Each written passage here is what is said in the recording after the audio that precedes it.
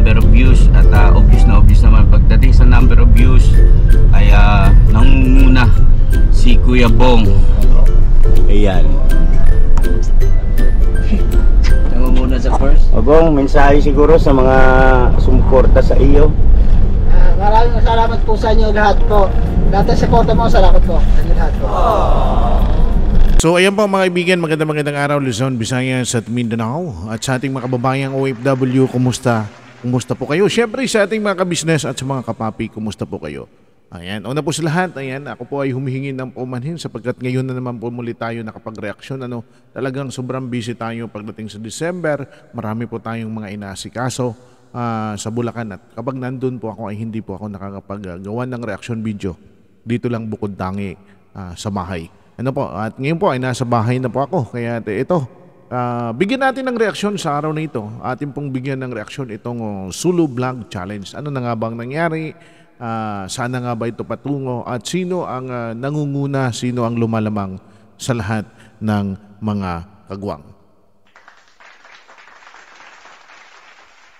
So yung mga ka-business, uh, makikisuyo po, pakisuportahan natin si Taong Gala. No? Yan, taong gala Yan po ay ah, reactor ng ka-business official at Papa Dean's TV. Nagpaalam po yan mga ka-business. Ayun na, pakisuportahan po natin siya. Taong Gala. Salamat po na marami. God bless po.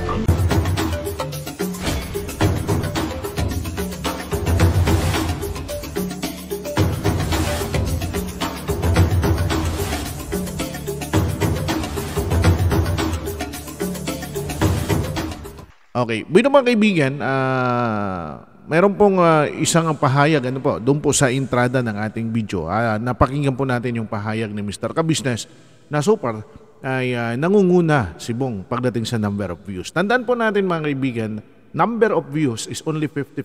Meron pang remaining ah, 50% na manggagaling mula sa mga miyembro ng First Family.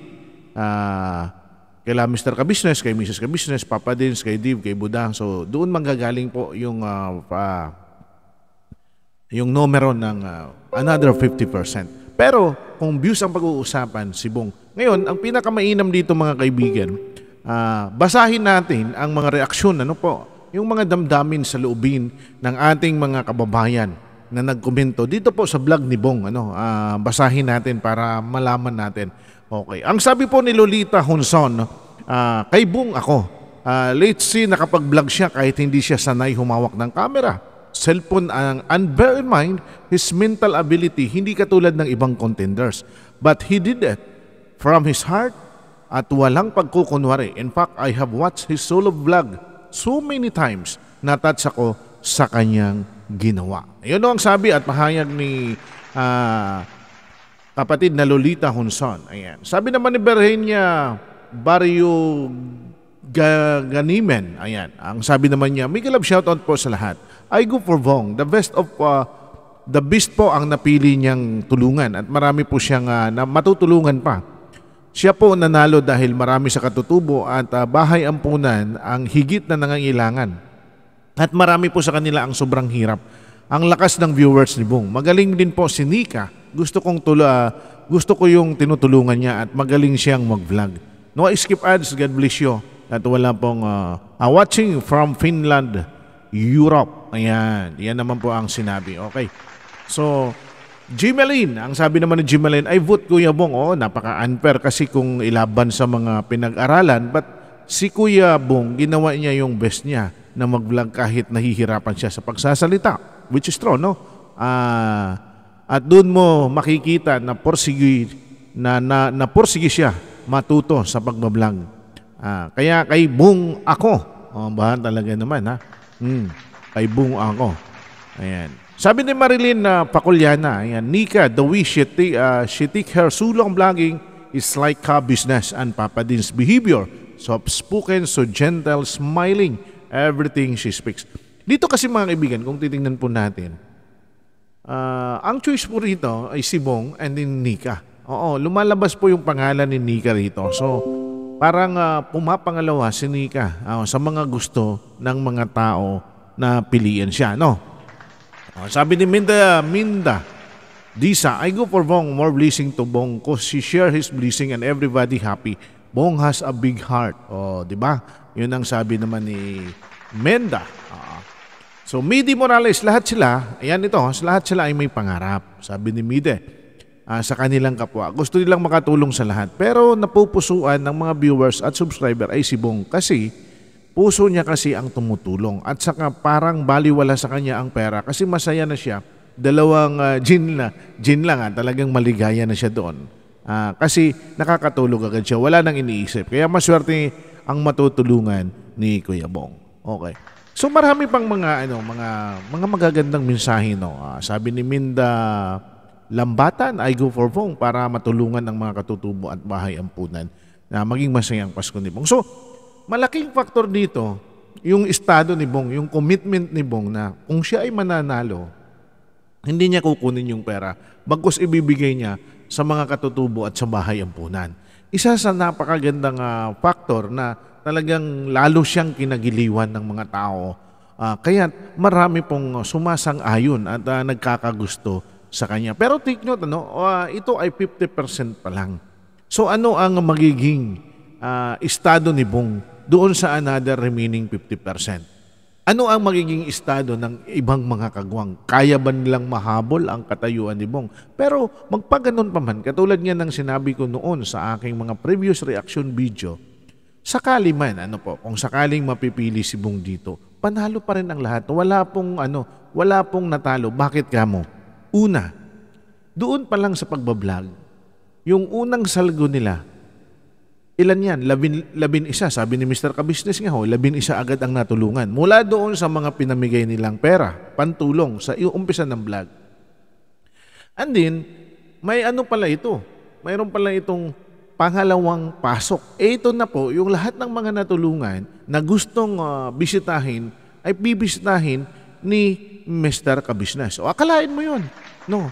At may dala silang regalo. Mayroon silang dalang ah, pantulong din sa kanila, pangsuporta. So, kumbaga, dalawang pa, dalawang bisis mapapasok, mapapasok itong mga natulungan. And ah, talagang ito ay isa sa pinakamagandang ah, konsepto na naisip no, ng ka-business family.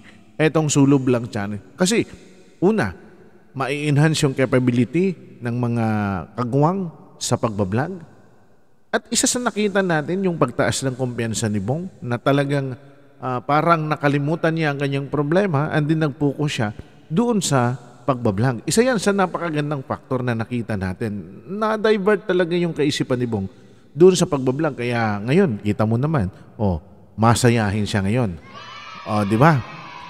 So, isang magandang ah, pangitain yan para kay Bong. Ngayon, kung sino man ang manalo dito, kung sino yung itatanghal na winner para sa Sulub Lang Challenge, lahat yan panalo. Lahat panalo. Walang ano, kahit, kahit sabihin natin isa lang ang winner, lahat sila pata, panalo. Bakit? Dahil lahat sila na-overcome nila yung lahat ng kanilang kahinaan doon sa pagbablog. At lahat sila may, kap- may kakayahan mag-vlog. Ha? Ah, i-ano lang natin, except lang siguro ma- masabi natin na talagang ah, sobrang mabagal at medyo mahina ano at kailangan talagang mag-double time, kailangan mag ah, kumbaga ay kailangan magsumikap at la, pag, pa, ma-enhance pa except lang doon kay Jonathan sa estado niya. Kasi kung ikumpara mo naman si Jonathan and then si Bong, lamang naman si Bong kay Jonathan. Di ho ba? Ah, kasi si Bong magaling nang humawak ng camera eh. Marunong na siyang umanggulo. Ang bukod tanging kahinaan lang ni Bong is yung kanyang pagsasalita. Pero may technique na nakukuha si Bong. Ano yun? Pinipilit niyang pasalitain yung kanyang kausap. O, di ba ang galing, matalino talaga si Bong.